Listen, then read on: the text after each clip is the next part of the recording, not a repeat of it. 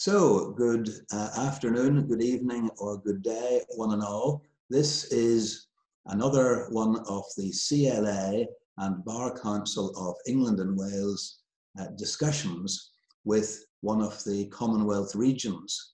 Uh, today finds us in the Caribbean, and we have participants from uh, Barbados, uh, Rosalind from Trinidad and Tobago, Douglas, and two participants, but wearing different hats from the Bahamas. Uh, we're very pleased that Peter Maynard, our Vice President for the Americas, is with us, and Council Member for the Caribbean, uh, Bertha, is also present. Uh, we have been conducting these discussions with our regions, and uh, we have had a discussion with the Africa hub region and with Asia. And so we're looking very much to learning something about what is going on in the Caribbean, arising from the impact of the global pandemic known as COVID 19.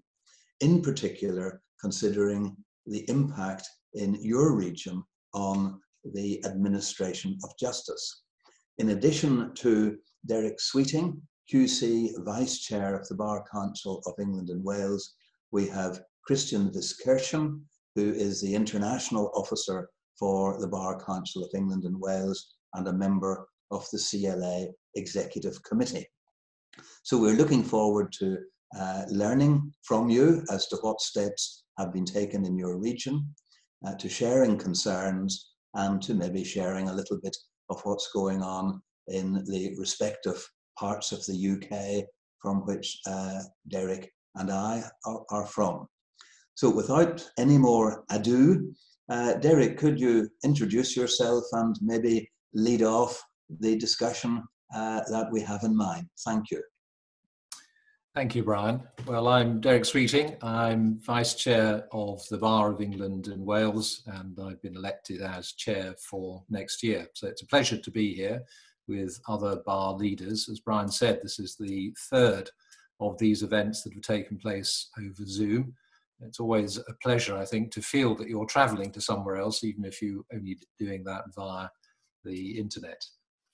One of the things which has emerged, I think, in the public health sphere is that although we all face very similar problems in terms of the effect of the virus, different countries have used different solutions with different degrees of success. And I think it would be fair to say that we've found so far that that is also true of the legal position and the way in which different legal um, structures and different countries have reacted to the pandemic and its effect on access to justice.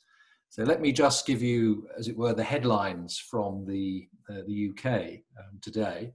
That's really that this week has marked the start of an attempt to restart jury trials. And of course, of all of the trials that one could um, envisage trying to stage during a pandemic, jury trials probably come with the, the most difficulties. So, in the Old Bailey this week, two trials are going to go ahead with juries, and that involves a great deal of social distancing and some very impressive attempts to try and make sure that jurors and court users, including members of the legal profession and witnesses, as well as defendants, of course, are as comfortable as they can be with the precautions which have been taken around health. But the caveat is that in a very large building, it's only two trials, and these are very much baby steps. So we are not looking at the dam bursting all of a sudden and jury trials resuming. So it's a tentative way of trying to begin things again in the criminal sphere. And of course, it would be right to say that the amount of work that goes on in court in terms of hearings has really fallen off the cliff as a result of the lockdown in this country and I'm sure elsewhere. And although we are beginning now to see a return to hearings in the criminal courts, it's going to be very slow on any view. The civil courts, in fact, have, have not done much better. In theory, they ought to be more amenable to the use of technology and video hearings and so on but it's proved to be the case that there are certain sorts of hearings which are just not really viable via a video link. And the use of video links themselves come with a real downside. They're quite tiring, they're difficult. Not everybody wants to participate in the normal way. So I would say that the position in relation to the civil courts is again that there has been a very large downturn and we are still feeling our way really back towards a recovery. And overarching all of this in terms of attending hearings in person is not just the difficulties that one faces in terms of safety at court, but also traveling to court, for example, and trying to be safe on the way to court. So those are the sorts of problems that we're encountering at the moment. So can I ask Peter really just to give us uh, an overview of what the position is within your jurisdiction? Thank, thank you, Derek. And, and, let me say at the outset, uh, thank you to Brian and yourself, as, as well as Bridget and Christian, and, and uh, for this initiative in organizing this um, this event. Um, as you as you and, and, Brian have indicated, this this is this pandemic has been very life changing, uh, uh, globally and certainly across the region. The English speaking Caribbean, and, and, and Douglas can can correct me on this. I think the the English speaking uh, countries are about 17 of them, extending from Bermuda, if you wish, uh, and the Bahamas in the north, to Trinidad and Guyana in the south, and Barbados in the east to Belize in, in the west. So it's, it's quite a broad, a broad region. Um, um, but, um, and so the measures have varied uh, in, in uh, places such as St. Lucia, uh, and uh, the, this, uh, the, the, curve is, is, is flattened. Indeed, recently in the Bahamas, there have been, been no cases over the past few days, which has been very, very encouraging. Um, um, but the it's this is still a, a, matter which will take some time to to um, complete. Uh, obviously, there's now the phased reopening of the economy. The government has taken various measures to gradually reopen the economy. I think Rosalind has the privilege of being able to get back to her office uh, more frequently than the rest, or more easily than the rest of us can, perhaps in, in the region. Um, as, as, as for the courts, the responses of the courts have been, been varied across the, the, the region. Um, uh, on, the, on the criminal side, uh, generally speaking, it seems as that uh, the, the, criminal trials are not continuing for the moment, uh, although uh, there are uh, arraignments. And of course, this may vary from, from place to place um, using video uh, methods. And some countries are more equipped than others in, in, in the use of, of technology. Uh, on, on the civil side, the, the courts have um, in many cases, uh, identified judges who uh, consists of an urgent duty roster. That's the name used in the Bahamas, for example, urgent duty roster, where judges are available to deal with urgent matters and they are holding um, hearings by video conference uh, using various platforms. Um, in some instances, uh, e-filing is available. In other instances, uh, there's greater use of um, uh, use of emails, and there are challenges of this. We have we have the Caribbean Court of Justice, as as you may know, which is a, uh, the primary court of the Caribbean, uh, which is very very advanced in electronic methods, and other countries have, have followed suit in their domestic courts, and so. Um, uh, many courts are quite well equipped uh, to deal with these, these new challenges. Um, and so uh, that's uh, uh, the we're finding the countries of the region are adapting quite um, quite quickly, and indeed many people are saying we we ought to have been doing a lot of this, a lot more of this in the first place in terms of the use of technology, uh, and I'm sure that that, that uh, the and indeed we're speaking now of, of not just reopening but also of reimagining um, how our, our, our, judicial sectors may operate. Peter, thank you, thank you for that. That very succinct uh, summary of what's happening in the region on a regional basis. And I think the last point you made is one that has come out of a lot of our discussions, which is around what the new normal will be. How many of these changes will remain in place, and how much of a, a difference they will make going forward. Have to say, I feel sometimes that over here we're in a large laboratory at the moment where lots of things are being tried in a timescale which we couldn't have imagined only a year ago. So let's go over to Rosalind and get the view from Barbados.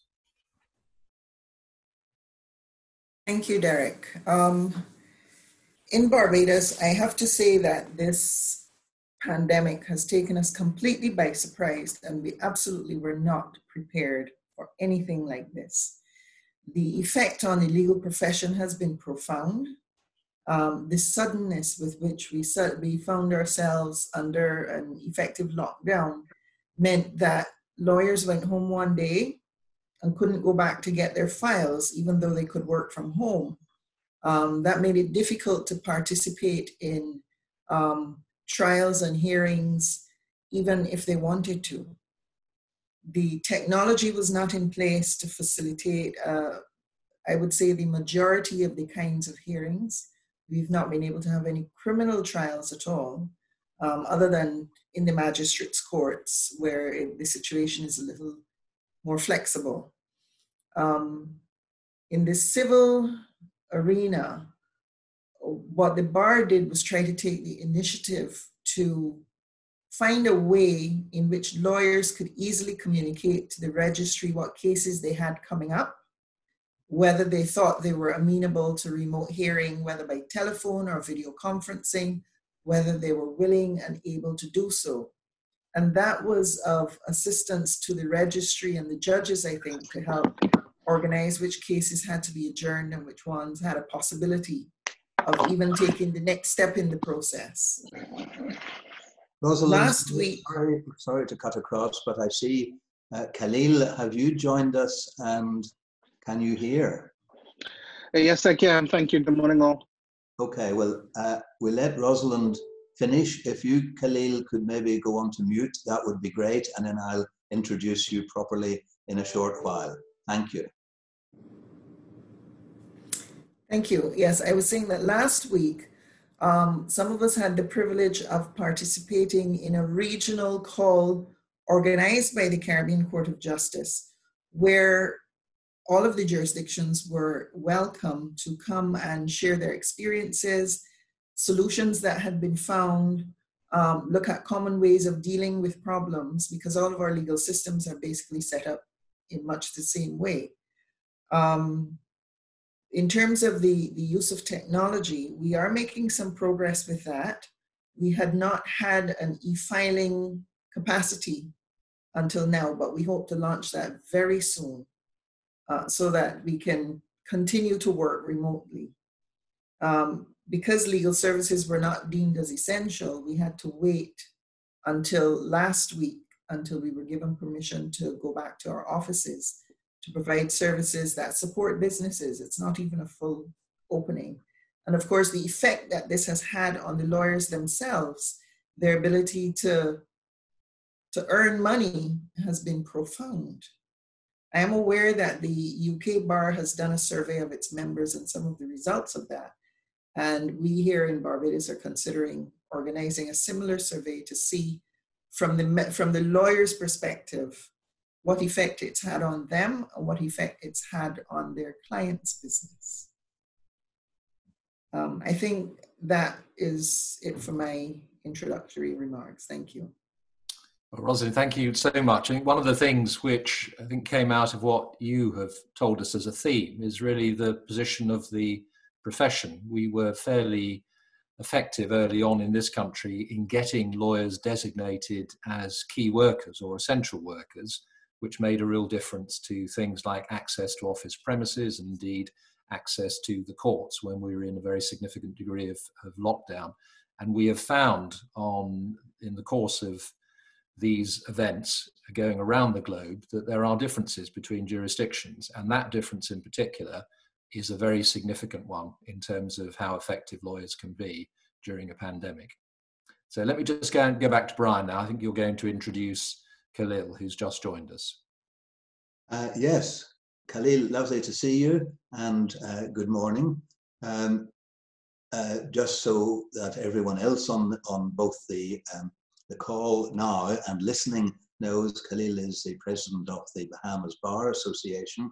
So we are very fortunate to have bar leaders and certainly whenever I take over the, the helm from Derek after he's uh, spoken to the other participants, I will want to return to the theme that Rosalind has very helpfully introduced, which is the impact on colleagues, the instant nature of our work uh, really falling away completely. And I also want to broaden the discussion uh, to include transactional work, uh, helping clients with wills or if they are incapacitated in some way, uh, the ordinary work of uh, law officers around the Commonwealth has been impacted uh, and not just through uh, court-based work. So Kahlil, it is nice to see you. We will join you after Derek has spoken to uh, Douglas uh, and Bertha, and then we'll, we'll have a, a word from you, and then I'll come in with some follow-up discussion with each of you. Back to you, Derek. Thank you, Brian. And Douglas, I wanted to ask you next to give a thumbnail picture, if you would, of what the position is in your jurisdiction and in particular in relation to access to the courts and the effect of the pandemic on that. Thank you very much, Derek. The, the judiciary has responded to our lockdown, and I put that in inverted commas, uh, because the approach of this government has been uh, essentially to not to require everyone to stay at home, but simply to prohibit certain activities. And they divided up um, working activities into essential and non-essential um, services. From the word go, they included legal services among the essential services. So lawyers have been um, permitted to to to you know to work although the extent to which they have done so is is um, is not known. Certainly, I have been working from home for the last nearly eight weeks. But the what the judiciary has done is essentially to shut down the courts, um, with the exception of what they refer to as emergency matters. But included among those that would be would be heard automatically would be domestic violence cases, applications for bails for bail, uh, maintenance applications. But as I say, generally speaking, uh, emergency matters, which um, they essentially is left to the individual judge to determine whether it was emergency matter. One of the cases that did go to court was an application by a very prominent and, and famous, some say infamous uh, radio announcer, radio program host, who had tested positive, and uh, then he claimed that after he was put in quarantine and after he, after he says he was tested negative, they wouldn't allow him to leave. So a habeas corpus application was made to court and it, and it was heard and um, determined, well, eventually he withdrew it because his result turned out to be positive after all. So that there has been limited access to the courts. The courts, the judiciary has also responded by effectively moving to e-filing which would be a permanent feature, is intended to be a permanent feature of, um, of the court system going forward. Um, we have had a number of meetings um, over Zoom with the bar. We host, the Law Association hosted a, a webinar, which was attended by upwards of 600 people, and even more on, on Facebook, in which the judiciary discussed the, the, their move towards um, virtual hearings, e-filings, and so on. Um, of course, as far as that is concerned, there are a lot of problems that will have to be sorted out. Uh, it's not clear that the judiciary has the capacity to um, conduct virtual hearings, certainly not from the courtrooms because they, they don't have sufficient audiovisual equipment. So thus far, um, I have participated in two hearings, but I could tell the judge was um, was at home and therefore using his and in the other case her private computer equipment. Um, uh, but exactly uh, how they're going to do it going forward will depend upon the resources that the government eventually provides.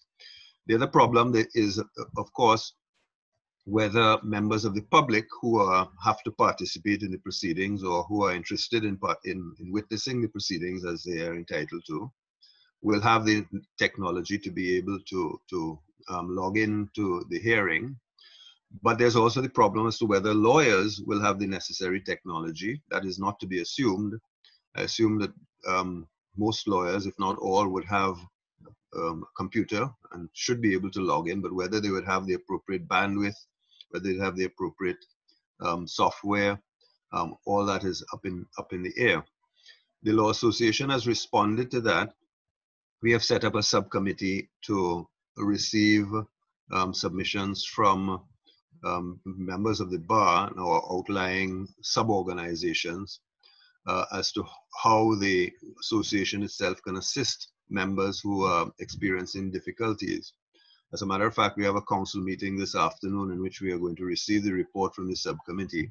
One of the things that has been bandied about is that the Law Association itself will, will um, create uh, centers at three or four points in the country where video conferencing can be held, maybe for a small fee, and also where the necessary equipment will be provided to scan documents that need to be filed, and maybe the software that is needed, all this fancy software that I'm not too familiar with, in which you can cross-reference documents and so on.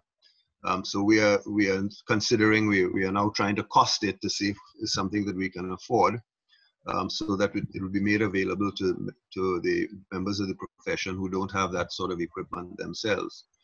The I don't think that there have been any um, criminal trials, certainly not no jury trials so far. And the Attorney General has responded by um, sending around recently uh, a question, basically, um, for the consideration of the members members of the profession as to whether we should go to, at least for a temporary period, um, abolishing jury trials and mandating judge alone trials. The law in Trinidad at the moment is that um, we have judge alone trials if the defense um, requests it and there have been some judge alone trials. Apparently, they have they have worked um, fairly well um, from the reports from both sides of the bar and from the, ju the judiciary. So the Attorney General has asked the question whether, if only temporarily, we can um, we can mandate that all trials, jury trials, um, be, held, be heard by the by a judge alone. Because we, I, I don't think that we have been able to envisage how to conduct a jury trial and at the same time maintain um, social distancing. Or to be able to conduct a jury trial virtually, there'll be all the difficulties concerning witnesses, whether they be prompted by somebody off camera, uh, whether the witnesses themselves have the, the, the necessary technology, etc., etc., which I think is a problem being experienced everywhere. So that is one of the issues that um, that has been flagged in Trinidad and, and is currently under discussion. Um, it was a, an issue that was discussed on the uh, virtual meeting that Rosalind mentioned earlier um, that was hosted by the CCJ. And that is a debate, therefore, that is also occurring region-wide. As far as the impact upon on the profession, um, I have had, well, I can only go on, on the basis of, of um, what some members have reported, and, and certainly the, the bigger firms, the commercial firms as it were, have reported an 80% reduction in commercial work. Um, and I think the 60% in one instance reduction in income over the period. Of course, there's there's no new litigation taking place, and you can expect as well that during this period clients are not paying because everybody's waiting to see what is going to happen next. So there is um, there is an expected impact upon the the earnings in the profession, but exactly what what that is we don't know. We have we don't have the, the information, and we haven't yet attempted to get that information um, from the profession. But we assume we are assuming that there's an impact, and we are uh, attempting to to adjust as best as possible. As far as it, if I may just say this um, lastly, as far as the um, use of technology is concerned, um, I don't see any reason why once it's available it wouldn't work. As a matter of fact, I did a, a, a trial in Guyana, I was in Trinidad. Um, Dr. Francis Alexis, who represented one another party, was in Grenada, and the trial, the, the court um, assembled with the necessary technology, and we made submissions to the, the High Court and then to the Court of Appeal, um, and it, it went fairly well. But of course, we didn't have any witnesses to to cross-examine. This was just submissions, um, and um, it indica- it shows that it, it can work, um, but it all depends upon the availability of um, appropriate technology. I think that those are the um, those are the points that I wanted to make. Thanks very much, Derek. No, Douglas, thank you very much. I mean, lots of access to justice issues arising there around the patchy nature of technology, whether judges as well as lawyers and litigants are going to be in a position to use it. And then I thought the other very interesting thing was the question of what work is regarded as urgent, which has been something of um, a difficulty here as well, because there are different views between the judiciary and the profession, I think, about what ought to be regarded as work that can be done and is urgent. So in, interesting thoughts there from Douglas. Let's go over to, to Bertha for some thoughts from, from your end. Thank you very much, Derek. Uh, interesting enough, prior to the pandemic, I've been working with um, several subcommittees in the Bahamas um, that centers around ADR ref- legislative reforms. And one of the committees, uh, well, arbitration, mediation, adjudication, financial services, and youth ADR. And when this outbreak occurred, I was very concerned based on the feedback from the young professionals who expressed an anxiety. Some of them have been laid off and without any means to practice in the courts, they all turn to their respective responsibilities.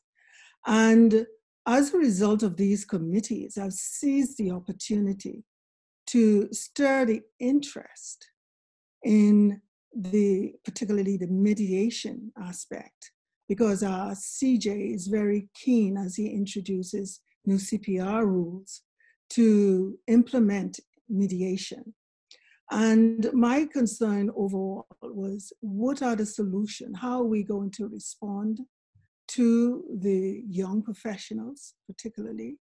And um, as you would know, I don't know, but I've spoken with Brian on several occasions as counsel for the Caribbean. One of my main concerns was to focus on the mediation. So I would say that in terms of solutions, um, the courts are shut, but I sit on international panels and arbitration in the international arbitration space as well as mediation. One has continued to exist. And I look at this as an ideal opportunity to train and to educate those in our profession, to look at alternative means to resolve disputes. I mean, in terms of criminal um, matters, we can understand, but I'm looking particularly for civil matters. This is an opportunity for the CLA to, you know, in, know establish its footprint in the ADR sector. I will allow um, Kahlil to expand further what has been taking place on the ground seeing that he has been in close communication with the CJ. Thank you very much. Well, thank you, uh, Bertha. That's fascinating. Uh, I think the the idea that we need to innovate in the face of the problems that are coming our way, both at the moment and when we are dealing with the backlog, of course, I think is is a common thread in a lot of the discussions we've been having. Just as Douglas was saying that we might have to innovate in terms of how we do jury trials, in other words, do we do away with juries? I think the role of mediation and ADR is another area where there's going to be a lot of discussion and thought about its role and effectiveness in dealing with the backlog in particular. So, shall we go over to Kahlil Brian before you take over? Uh, yes, I, I, think we should, uh, just to allow um, Kahlil to uh, come up on video there. um, responding very positively to your remarks, uh, Bertha. Um, I do think this is an opportunity for practitioners to advance their cases towards a resolution. Uh, and in a sense, it's, it's one of the uh, interesting aspects of how we need to be flexible in our approach. I mean, we may never go back to the courts operating the way we have been used to throughout our professional lives, but um, online mediation, Zoom mediations, uh, I'm pleased to say I have uh, two lined up in the next couple of weeks. It will be interesting to see how they go. I actually have no concerns about this as being a highly effective opportunity for colleagues to move stuck cases or cases which uh, are ripe for resolution and settlement. And um, my own law society has produced uh, an um, e-informer circular to all members of the profession in Northern Ireland, uh, extolling the virtues of mediation. Uh, and you can guess that I've had a little bit of a hand in promoting that uh, because of my interest in that. So I was very intrigued, Bertha, to hear what you say. And I think at a, at a CLA uh, level, we should be encouraging how different working practices can evolve, um, even though going to court may not continue to be so much apart.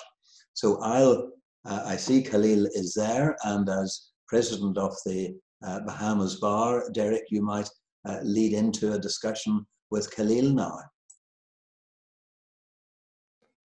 Yes, Kahlil, do you want to give us a, a, pen picture then from the Bahamas as to how the pandemic is uh, affecting you? Yes, good morning, everybody. Um, while I had some short notice with respect to this due to some electronic issues, the reality is, as presidents, we discuss this stuff every day. This is our, our primary work right now. So I, I, I can't pretend like I'm not prepared for the discussion. Um, I caught the tail end of Rosalind's presentation and I got all of Douglas's. And it seems as though we have had, as probably can be anticipated, somewhat universal experiences with respect to um, getting through this. Uh, we have been back in our offices for about two weeks um, with the an extension having been secured for the legal profession. We're not open, but we've been allowed in. The premise being that there's a lot of preparatory work in terms of getting prepared to um, focus on and participate in the new normal. We are working closely with the Chief Justice from the very start. Um, we are moving away as a jurisdiction from the urgent caveat more to a consent basis where the parties are prepared to work remotely. The court is uh, prepared to hear them. Um, I heard uh, Douglas with respect to the criminal protocols. Uh, that discussion is not as mature, but it is something that will have to be contended with. Um, with respect to the membership, uh, there's been a fall off. Uh, it, I don't have scientific data, but we have anecdotal reports along similar lines. And um, what we are dealing with right now is, uh, as Bar Council, we are exploring the provision of workstations so that those who don't have the facilities can have a place to go um, with respect to participating in hearings and, as, he's as Douglas indicated, scanning and, and dealing with um, uh, e-filing and, and uh, lodging their their documents. Um, this came at a time when our Chief Justice was very focused on e-filing and digital um, uh, uh, processes. So the website had recently been launched. So some of these uh, plans have been accelerated. Uh, the reality is that in many respects, these things are the new normal. They, we won't be going back per se. I, I think that the physical um, infrastructure will, will, will stand as a backstop, but the intention is to encourage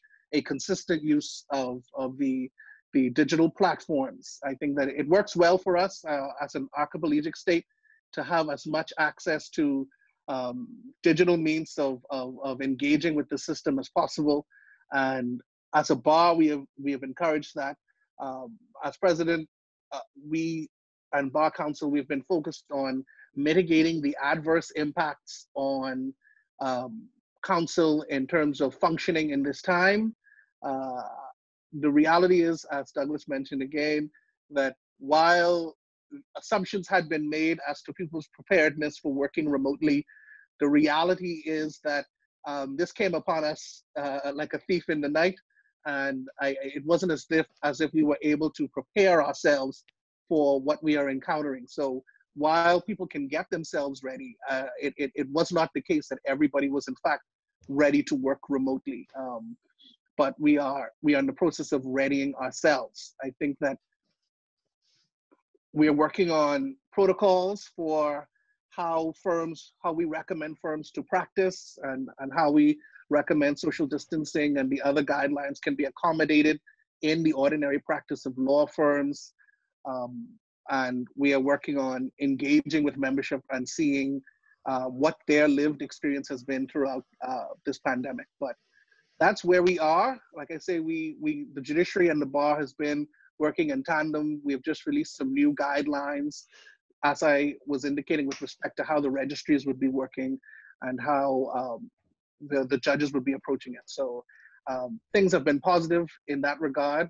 We we still have to do some work with respect to um, transactional work, the, the non-litigation areas of practice. We need to increase the, the, the, ability of those um, practitioners to, to um, complete their transactions and, and, and engage meaningfully on behalf of their clients. That's something that uh, is, in some respects, falls outside of the judiciary's control.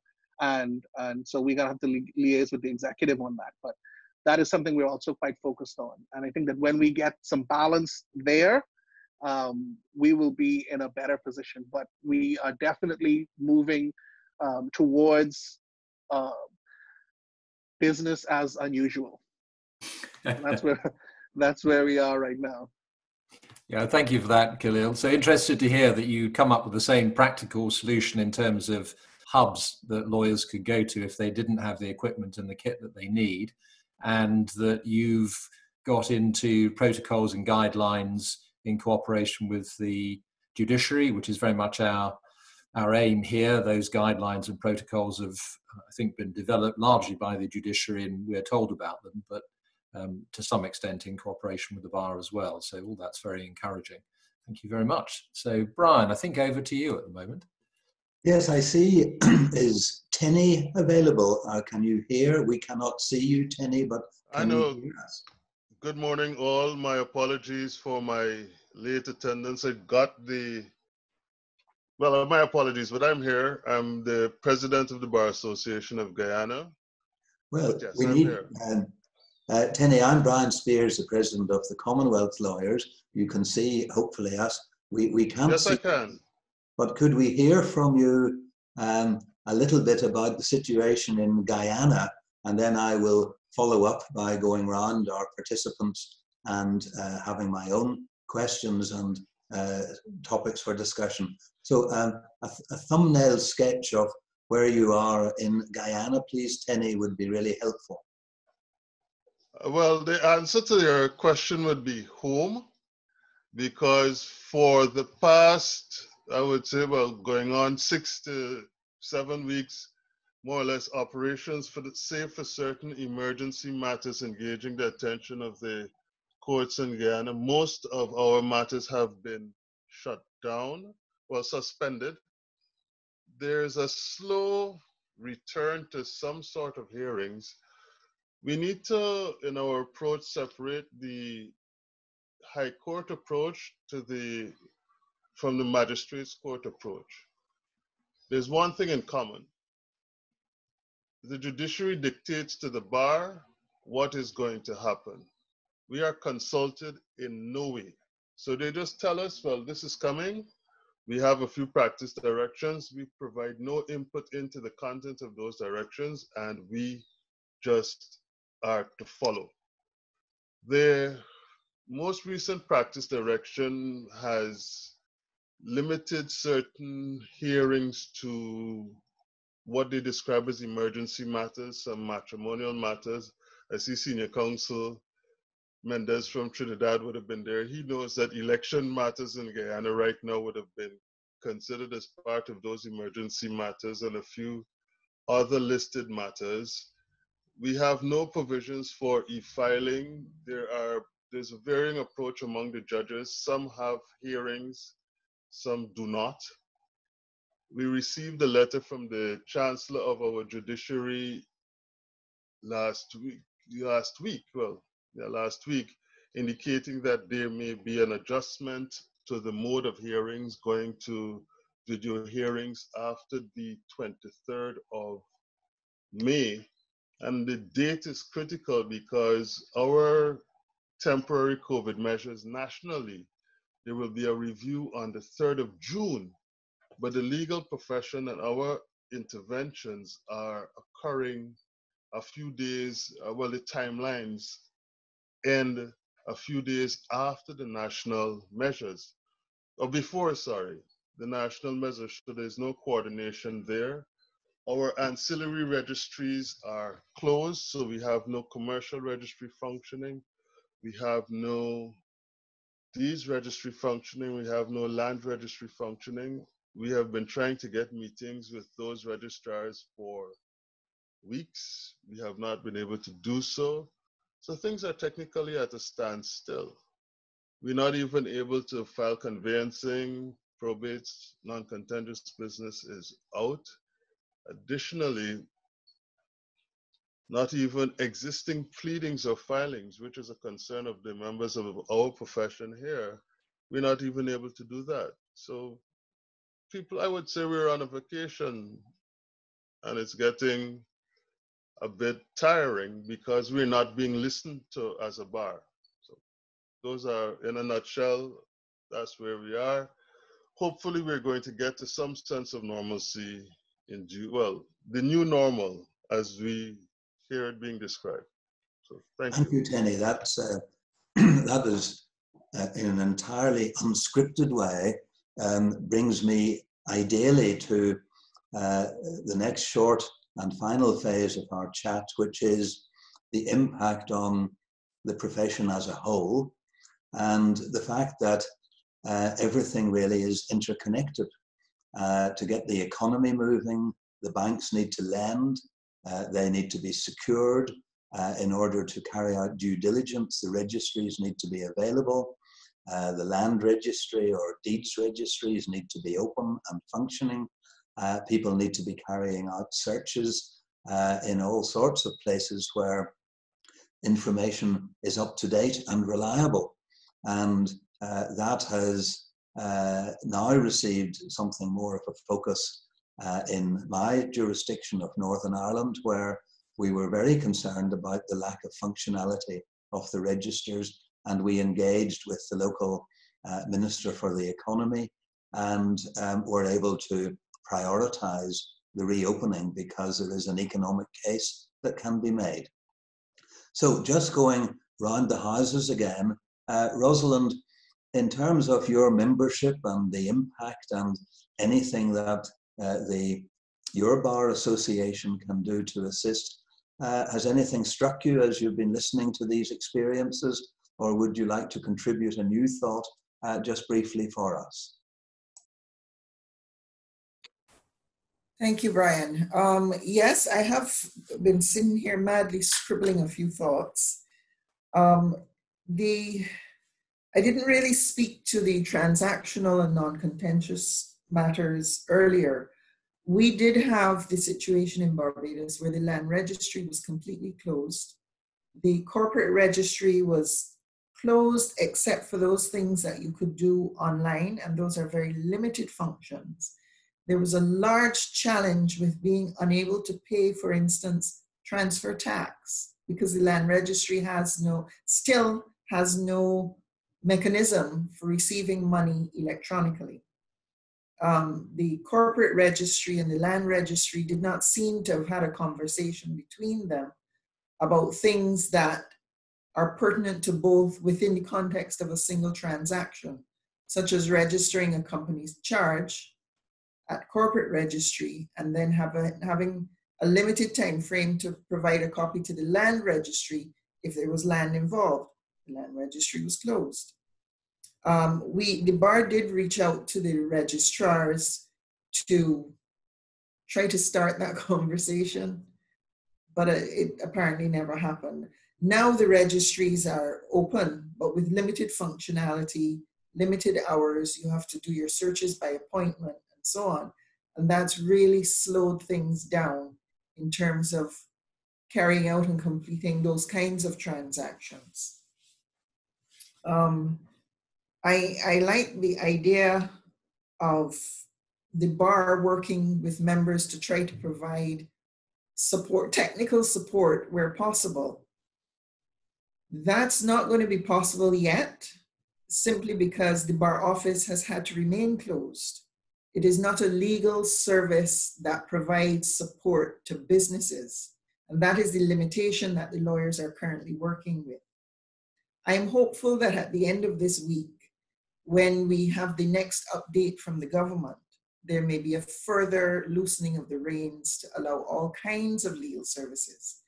But from the early days of the lockdown, um, we had sought an exemption from the Attorney General for lawyers to be able to do things like visit people who've been arrested. We got that one. Uh, go and assist people to prepare their wills. We didn't get that one. Uh, generally, just let us function so as to keep the courts going to the extent possible. Um, we, we do have to make the point that there is an economic reason why lawyers need to function. We have to be able to support businesses which are seeking financing, for instance, to keep their doors open and their employees on staff. Otherwise, the entire country will be looking for unemployment benefits, and that's not viable. So there is a role for lawyers and for bars to play in bringing some balance to the considerations. Health first, of course, but we're all healthy and we can't eat. Doesn't make sense. You have to, we have to try and help find that balance. Um, I, I do think that ADR will become more important as we try to, to move away from more complex ways of, of resolving cases. It's a very complex thing to have a matter in court. ADR is a much less technical, complex process, and I think we should be pr promoting that.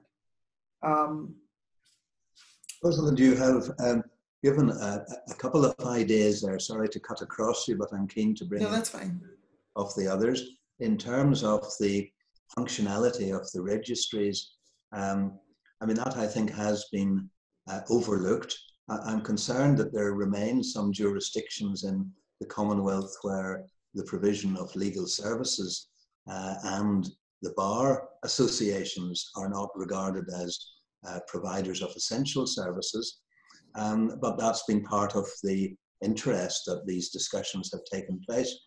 Uh, I also like the idea of, of bar associations providing some um, communal help regarding uh, technology. And I suppose it was uh, Douglas that you had raised this issue as a possibility. And could I turn then to Trinidad and, and uh, give a few reflections on uh, transactional work and how you are coping and maybe expand a little bit on your idea about communal centers where technology uh, might be available so that every practitioner doesn't need to have um, the upscaling of their technology that's obviously required. Yes, uh, Brian, I touched on, on the impact on the legal profession a bit when I was um, speaking earlier. Um, what Rosalind has said, I think that is reflected um, to a large extent here in Trinidad as well. The, the registries did not close as such, um, but there were difficulties because of, of course, there were public servants who, who were not coming out to work, um, preferring to stay home and uh, there was breakdown in communication from time to time but uh, there were difficulties being experienced but the main complaint is the drop in the in the work that is available because even though the banks have remained essential um, essential services within our scheme, the amount of work that they have um, to to uh, pass on to lawyers is, has dropped in accordance with the reports that they have had. And similarly, even though we are free to go to court, there aren't very many matters being heard in court, um, whether old matters or new matters. Effectively, everything has been adjourned to um, June, July, and, and going forward. So our ability to earn has been affected as, a consequence.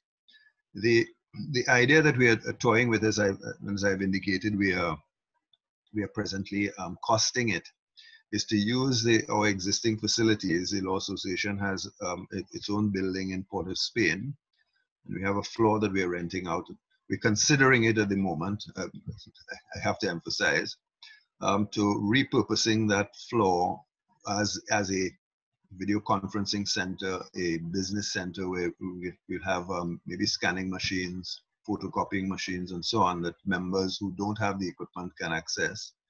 But also um, uh, having a center in San Fernando, that's in the south of Trinidad and in central Trinidad, and also, of course, in Tobago, which is our sister isle.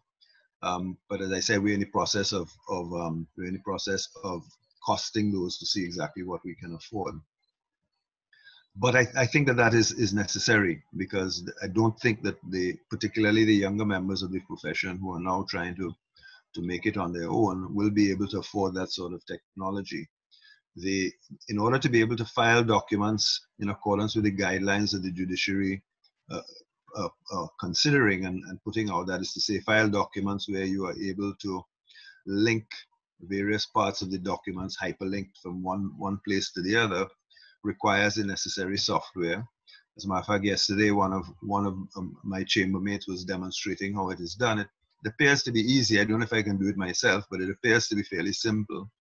Um, but it is it it also it will therefore require additional skills that that uh, maybe the the staff of of, um, of of the legal firms will have to be be trained to do um, to make sure it's done properly and so on. But of course, the, the judges are now insisting that that be done because it would make it easier for them.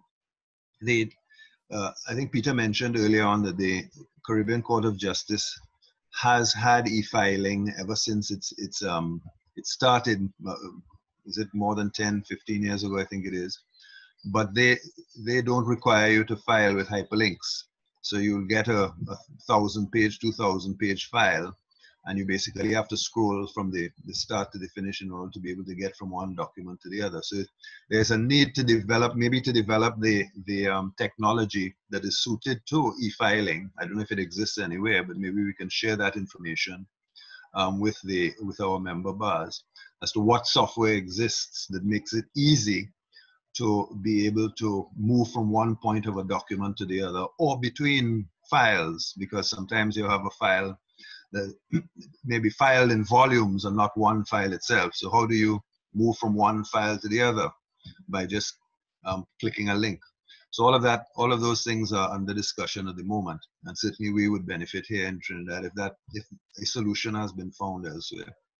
Thank you, uh, Douglas. I'm sure that uh, if if that technology and software exists, which it surely does, um, we would be pleased to uh, share that information with you. Just to round up the discussion, I'm going to turn to our other president um, of the Bahamas Bar.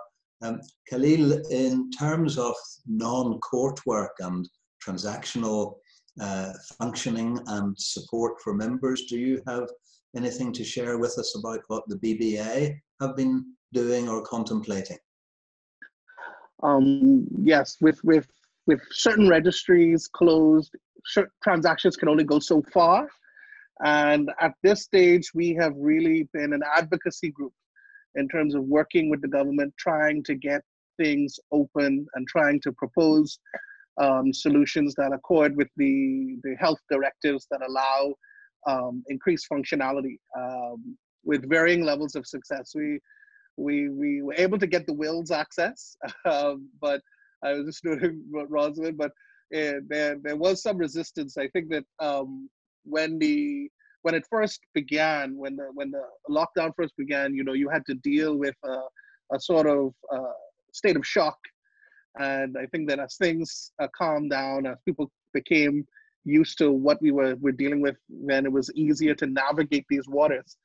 And um, as I said, uh, there's in terms of the work that we can control in collaboration with the judiciary, we've had tremendous progress in allowing those things to, to be done to work remotely and and and we are very far along in that regard. We are less uh, far along with the the government in terms of facilitating uh, some of the nuances of transactional work but that is the, the, the current phase. I think that um, we were dealing with what we could deal with that where we had a partner that was at item with us um, but now we're focused more on increasing that. And the our members have, have been quite vocal in terms of providing feedback on what they need to get these things done. So that is um, a work in progress. But okay. we've had similar experiences from what I've heard from my colleagues on that side of, of, of the fence.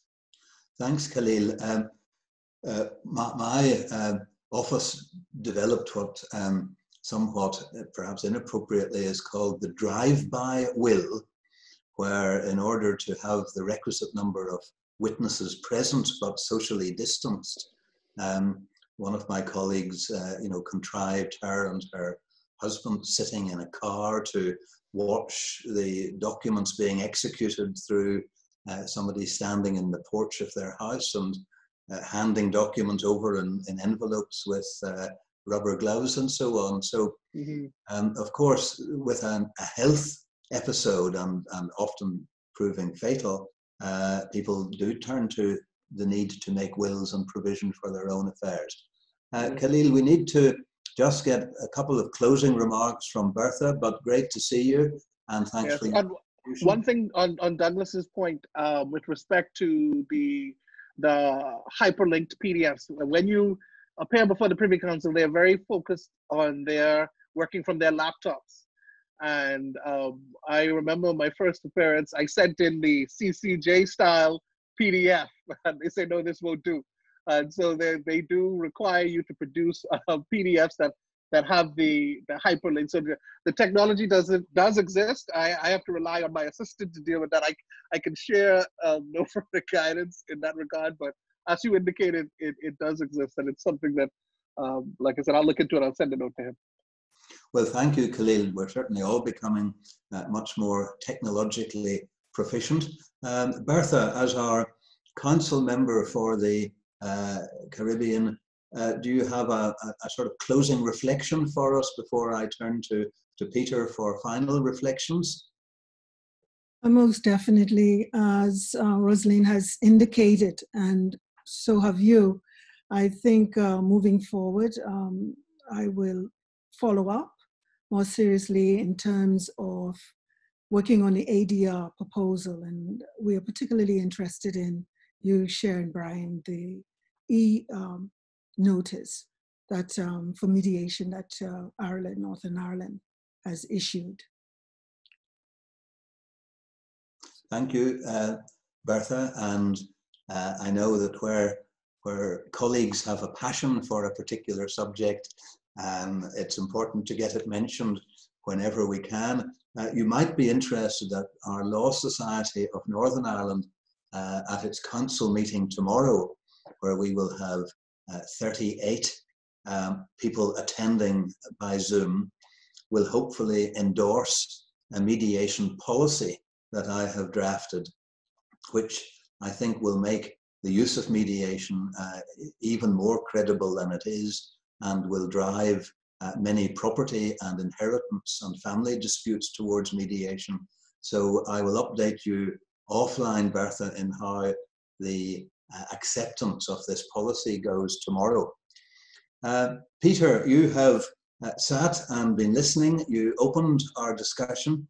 I would like you to close our discussion with reflections that you have and then we'll close the session by a few remarks from Derek and then a, a goodbye and thank you from me. But your, your closing thoughts, Peter, I would be interested to hear.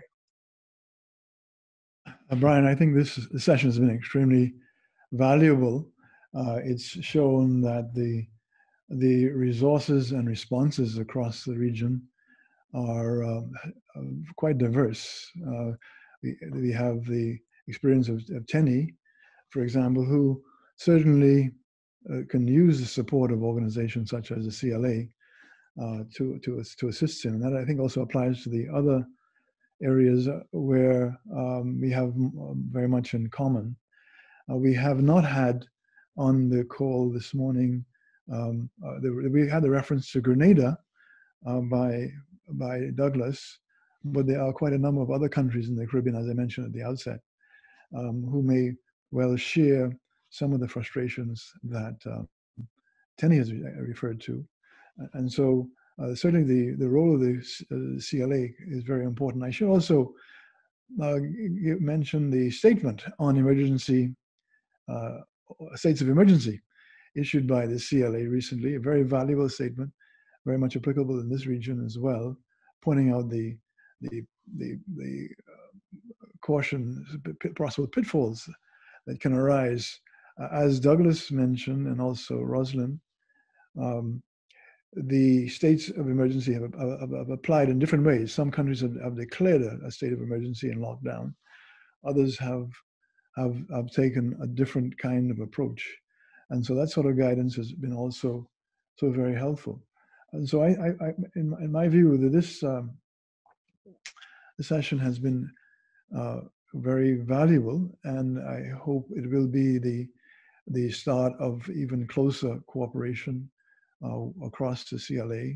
I imagine, uh, I haven't seen it, but I imagine that the session regarding Africa and indeed the session regarding Asia uh, would reveal similar kinds of problems. And so these opportunities to share experiences and to provide support are, are very, very useful. Well, thank you, uh, Peter. Yes, the um, this is a, a, health emergency and, and it has affected us all globally and in very similar ways.